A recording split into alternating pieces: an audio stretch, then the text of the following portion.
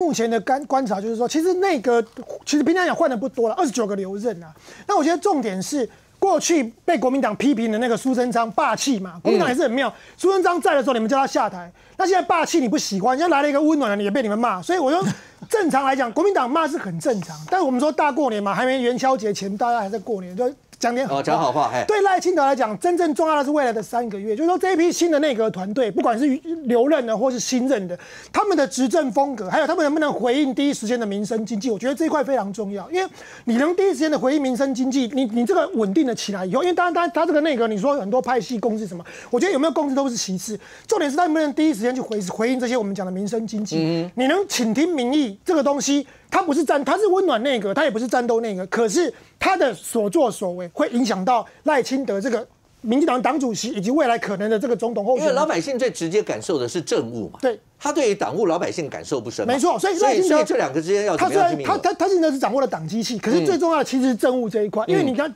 主持人刚刚讲的没错，那个。党务的东西，民众是感觉不到，那是选举机器。可是重点是政务的这一块，如果你做得好，民众的感受好的时候，那个对民党才有加分。但如果你这一块如果没有办法继续让让民众有感有感的话，那他他就会变成是，呃，就就卡在那边。那有人会说啊，陈建仁是什么蔡英文的傀儡，什么蔡蔡英文在后面指使？我觉得这也是很好笑。过去苏贞昌在，你说啊，苏贞昌蔡英文管不到苏贞昌，那现在来了陈建仁说蔡蔡蔡英文整天管陈建仁，啊，不你到底到底怎样？就是是做什么？做什么你都可以嫌，所以我觉得重点是我还是在观察，就是说，那因为赖清德，但赖清德很谨守分际，就是说，他虽然他现在是党主席，他没有办法去插手到政务，虽然这个政务跟他的党务是非常重要，可是赖清德就是一个谨守分际的人，在内阁团队还没上任之前，他不会有任何的意见，他他不会有去指指点点，那将来就是透过他民进党中常会，那也许大家。党党有一些想法，那政务的这一块能不能继续推动？我觉得这个才是大家在观察。那至于在批评这些，我最后再讲一件事：最近最红的就是江宜桦了嗯，明明院长是陈建仁，大家在讲江宜桦，为什么？因为第一个，江宜桦是马英九任内的行政院长，也是内政部长。哦，拍谁？他他是借调来的。第二个，国民党有人说，哎，没有当过中央民意代表，没有当过部会首长，就只。统领三十万的小城市的林佑昌就可以来接掌内政部长，你凭什么？那我问你，那江宜桦凭什么当内政部长？凭什么当行政院长？所以最后再讲一件事情，就是说为什么国民党会批评这件事情？因为他们找不到毛病。嗯，陈建仁就没什么好讲，人家就是就是大人哥，就是温暖的圣光。所以你找不到洞去骂他的时候，你只能去抓这些枝微末节的。所以骂过头的结果，民众的感受会，如果万一他真的人家团队就做的不错，未来的三个月决胜，那你国民党到时候自打嘴巴。所以国民党害怕的是他们他们的。回应民意的速度够快的话，那这个反而对国民党的原本以为他们呃只垂手可得的总统大位，可能还会有影响。呃，任宇，其实除了回应刚刚那一段以外，因为小英总统特别有提到这次的那个，他说政府团队已经全面检讨改进，也就是说 这次的改组不管怎么样，当然要延续政绩啊或者就是那个时候为什么败选，回应的民意不够快或者什么什么所有这些，他说已经全面检讨改进，所以要把台湾顾好，类似这些，像这样的话，是不是做到解答你刚才的疑惑？这个回应够不够快，不是我们现在他说快，我觉得不够快，这不是我们各说各话嘛？那个真的是必须要有事件上面去做验证嘛？比如说刚刚提到陈吉仲，这个都可受公平啊。你在农业县里面，这一次的选举里面，多少农民他后来愿意投票给你？那个民进党传统的得票的大限，在这一次二零二二的选举里面，他就是得票状况不好嘛？所以现在要说服的，其实不是说啊，我今天换了一个内阁或换了几个人，因为你如果真正回来看的时候，他真正有去做的这个比例，也不过就七个，就我刚念的那七个新的首长嘛，啊，其他拢古威啊，那你现在告诉我讲说他是他是 OK 的，那你要拿出一个东西来证明，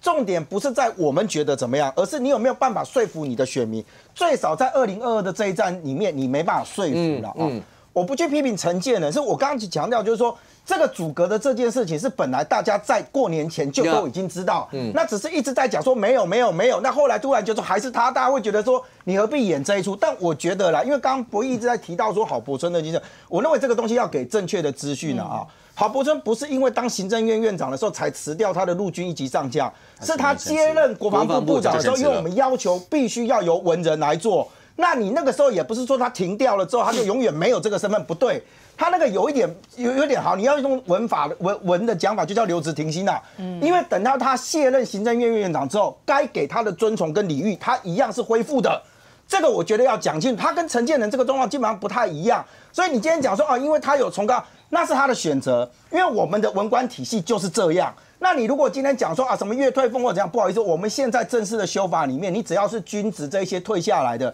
你拥有月退跟优存的部分，你只要转任政府的公职或者增付政府捐助比例，我记得是二十趴左右，你就必须要择一，也就是如果薪资超过三万四千多块，不好意思，你前面都不能领，嗯，所以就会有这种选择。我认为把这件事情拿来跟陈建仁比较，我我就不太知道这是两个是完全不同的事。可是我回来回答啊，就说现在大家回来看的其实是今天这个内阁，他今天稳定下来之后，他想要稳定什么？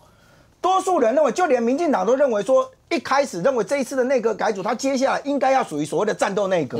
更讲白一点叫做选举的内阁，嗯，因为他要看的是民众愿能不能在最后这一年里面，把原先对于民进党执政失去的那个信心能够拿回来。那你今天多数留任的这一些官员，你们用一句话来讲说啊，他们都做的，我没有意见，因为这是你的说法，这是你的选择。你说在国防、两岸、外交，我们很早的节目里面我就讲过，我说你要换这三个人的话，你要告诉人家讲说，他到底是做的不好吗？是他觉得国防不够硬，所以你要换他。因为那时候一直在传嘛，说什么可能国防部长也会下啦，那那个什么吴钊燮还会去驻美代表。吴钊燮美琴要不要互调？看来看来都没有嘛。唯一总统职权里面换掉就是陈明通嘛。那我认为那个其实就是政治上面的要求他下台负责嘛。那这个也没有什么好争论的。所以我们回来看，就是说现在整体的这个内阁，其实对于民进党来讲，他到底是怎么去看待他？我认为，如果今天他保有这个旧的这样一个体制，那你原先要推动的东西，到目前为止你并没有看到这一些，